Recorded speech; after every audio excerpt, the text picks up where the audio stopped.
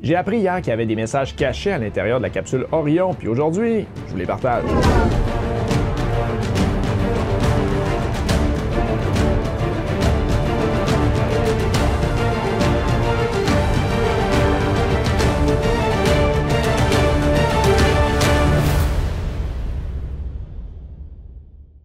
Alors que la capsule a effectué son splashdown dans l'océan Pacifique et tout s'est bien déroulé, eh bien la NASA nous a partagé des informations intéressantes aujourd'hui. La mission Artemis 1 de la NASA était sans équipage afin de donner aux ingénieurs l'occasion de tester le vaisseau spatial Orion dans l'environnement difficile de l'espace lointain avant que les astronautes ne commencent à voler vers la Lune. La cabine de l'équipage était loin d'être vide. Des torses de collecte de données, un mannequin, des expériences de biologie, un kit de vol officiel, une démonstration de technologie à commande vocale et un indicateur le fameux Snoopy ont tous été de la partie alors que le vaisseau spatial s'aventurait à 434 000 km de la Terre. Il y a eu aussi plusieurs extras placés à l'intérieur de la cabine Orion pour d'autres raisons, des hommages durables à des collègues, des clins d'œil à l'histoire d'Apollo de la NASA et même des puzzles avec un sens caché. Alors que de nombreuses charges utiles à bord d'Orion aideront la NASA à apprendre à protéger les futurs astronautes et à découvrir les effets de l'espace lointain et que les éléments du kit de vol aideront à fournir un engagement éducatif ou culturel, l'ajout d'extras est une tradition qui remonte aux premières explorations spatiales.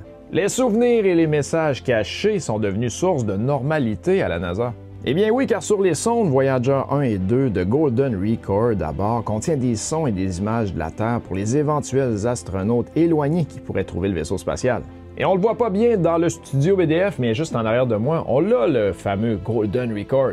Les rovers martiens Opportunity et Spirit ont transporté du métal de l'épave des tours jumelles du 11 septembre. Et Spirit a également transporté un mémorial à l'équipage de la navette spatiale Columbia. Plus récemment, le rover Perseverance de la NASA qui transportait une variété d'objets dont des pancartes commémoratives et un puzzle binaire conçu dans le tissu du parachute. Et j'en ai déjà parlé avec vous dans une autre vidéo de l'actualité spatiale. Pour Artemis 1, Orion a cinq messages cachés placés autour de la cabine de l'équipage. L'image d'un cardinal au-dessus de la fenêtre à droite du siège du pilote d'Orion est un hommage à l'ancien responsable du programme Orion, le directeur du Johnson Space Center et fervent fan des cardinals de Saint-Louis, Mark Geyer, qui est décédé en 2021. Geyer a été le premier responsable du programme Orion, y compris lors de son exploration Flight Test 1 réussi en 2014 avant de diriger Johnson.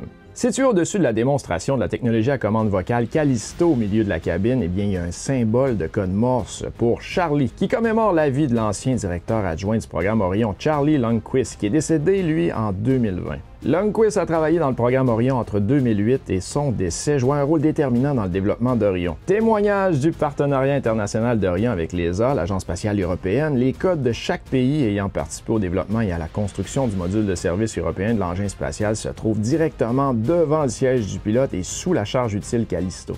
Les pays comprennent les États-Unis, l'Allemagne, l'Italie, la Suisse, la France, la Belgique, la Suède, le Danemark, la Norvège, l'Espagne et les Pays-Bas. La Coupe du Monde, la FIFA, finalement. Sur le côté droit du vaisseau spatial, à côté du siège du pilote et sous l'une des fenêtres, se trouvent les lettres C, B, A, G, F. Ceux qui sont familiers avec la lecture de musique peuvent les reconnaître comme des notes de la chanson Fly Me to the Moon. Vas-y, Franck, t'es bien meilleur que moi. Fly me to the moon. Let me play up there with those stars. Excellent! La version de 1964 de Frank Sinatra était associée aux missions Apollo vers la Lune. Le code binaire du numéro 18 est situé sur le dessus du siège du pilote à droite du logo de la NASA. Il s'agit d'honorer l'histoire des voyages vers la Lune de la NASA avec le programme Apollo et de célébrer le retour d'un vaisseau spatial humain sur la Lune après Apollo 17 pour la génération Artemis. Orion a finalement plongé dans l'océan Pacifique dimanche le 11 décembre. Artemis 1 est une mission testant le vaisseau spatial Orion dans l'environnement extrême de l'espace lointain autour de la Lune. Avant de faire voler des astronautes sur Artemis 2, le futur, ça commence maintenant.